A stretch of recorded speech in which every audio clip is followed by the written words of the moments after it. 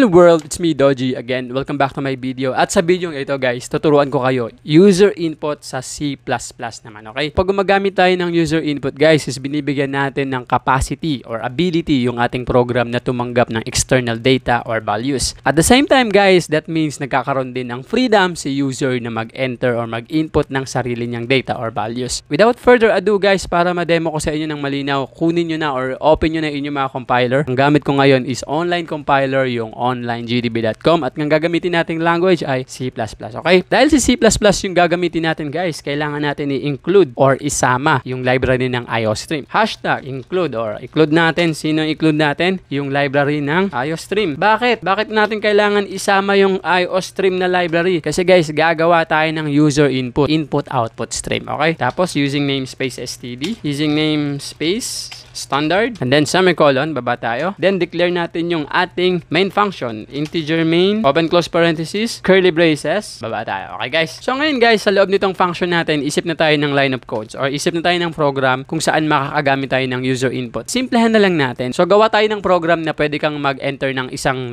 letra lang, okay? Isang character lang. And then ipiprint niya rin, okay? So dahil ang involved dito guys is isang letra lang. Therefore, ang gagamitin nating data types ay yung char or char, C-H-A-R. That means character, isang letra lang. Kasi pag maraming letra guys, ang gagamitin natin is strings, okay? So gamitin natin. Declare muna natin yung ating variable. So lagay natin yung ating data types which is yung CHR, character yan. So space tayo and then yung pangalan ng ating variable, sabihin natin si X. And then semicolon. Itong char or char, bisabihin yan guys, yan yung data types. Ano yung data types? Character. So isang letra lang yan. Ano yung variable natin? Si X. Okay? Yan yung variable name. And then ngayon guys, after natin ma-declare yung ating variable, bababa tayo. Lalagay tayo ng character out. C out. Less than less than. And then lagay natin yung prompt or yung display para alam ni user kung ano yung i-input niya. Okay? So, lagay natin dito, ah, lagay mo first letter name ni X.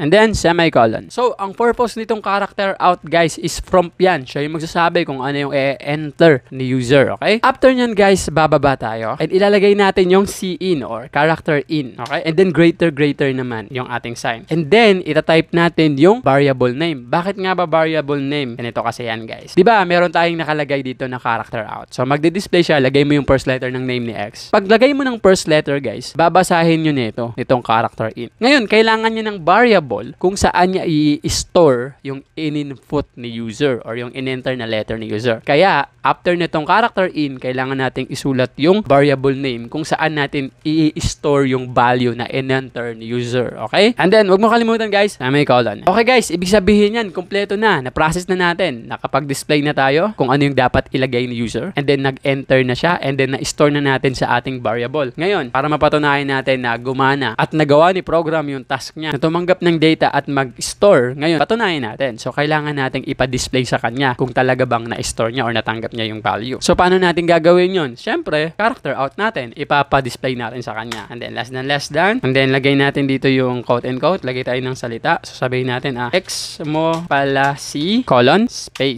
Okay? Tapos, guys, lalagay natin dito less than less than. Declare mo yung pangalan ng variable kung saan in-store yung in-enter ni user na value. Okay?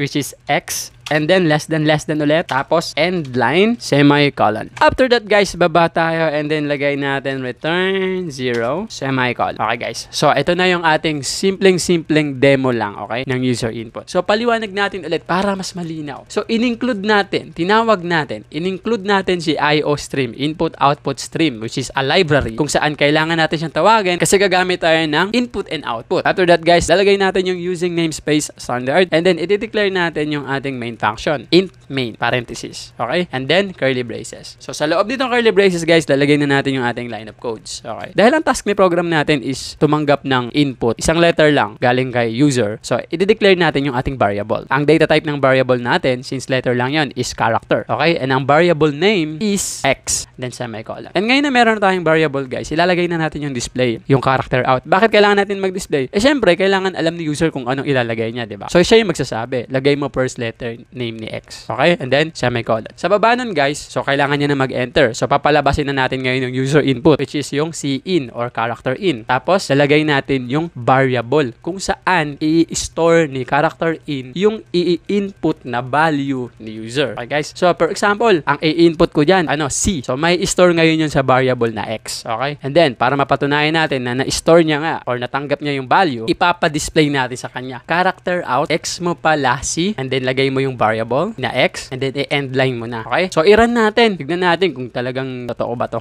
Run. Ayun guys, nakita niyo naman. Lagay mo first letter name ni X. Okay? Pero walang colon eh. Teka, hindi ko trip yung ganyan. Lagyan natin ng colon. So, lagyan natin dito ng colon, and then space. Kasi ayoko ng dikit. Then i-run natin ulit guys. Ayan. Lagay mo first, oh, lagay natin dito C, and then enter. Yan. X mo pala C, C. Okay guys? So, ganyan lang gumawa ng user input sa C++ guys. Thank you so much for watching. Sana may natutunan kayo. Kung may natutunan kayo guys, please don't forget to subscribe to my YouTube channel. Thank you so much. See you on my next upload.